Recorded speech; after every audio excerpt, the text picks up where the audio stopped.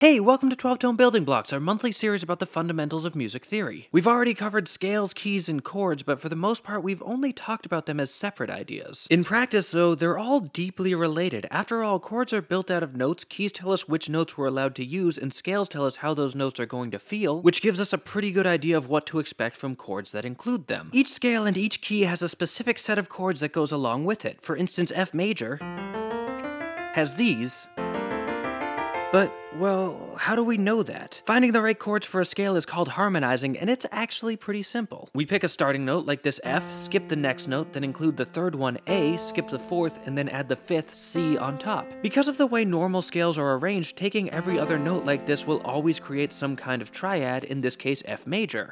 If we repeat this alternating process for every possible starting note, we wind up with this, a fully harmonized major scale, and if we want to get extra fancy, we can add a seventh on top, making this.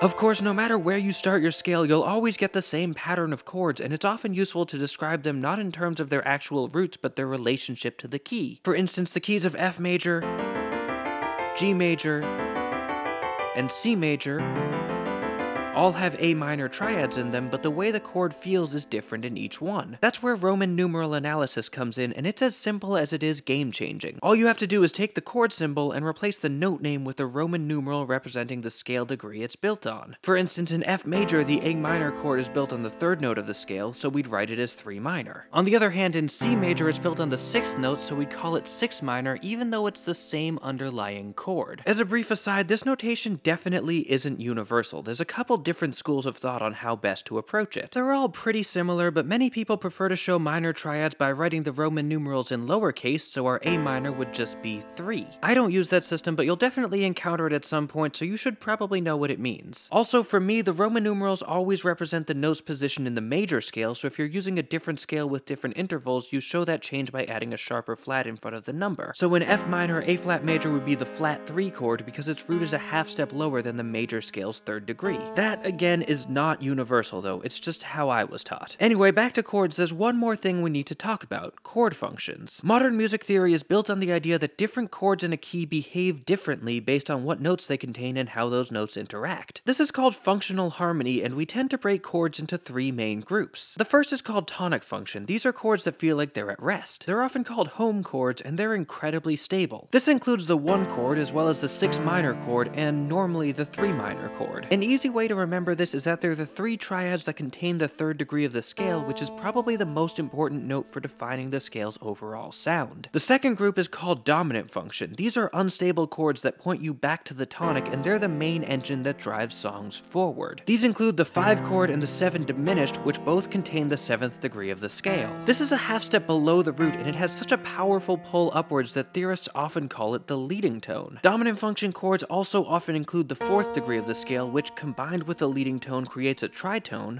a very unstable interval that makes the whole chord want to collapse. The third group is the subdominant function chords, including the 4 chord and the 2 minor. These serve as a sort of bridge between the other two functions. They're a bit unstable, containing the 4th degree, which wants to fall back down to the 3rd, but they don't have a leading tone, so they're not nearly as directional as dominant function. These take you away from home, but they don't point you back yet. That's not their job. The idea of chord functions is critical to our modern understanding of harmony, but it does have its problems. For instance, since dominant function is so dependent on the leading tone, it doesn't work in scales that have a lowered 7th degree like natural minor. In fact, a lot of these functions get way more subjective when we stray from the major scale, but still, it's one of the best frameworks out there for explaining most contemporary music, and that's gotta be worth something. Anyway, thanks for watching. Building Blocks was made possible thanks to our patrons on Patreon, so if you want to see more stuff like this, please consider supporting. You can also join our mailing list for scans of all our episodes, like, share, comment, subscribe, and keep on rockin'.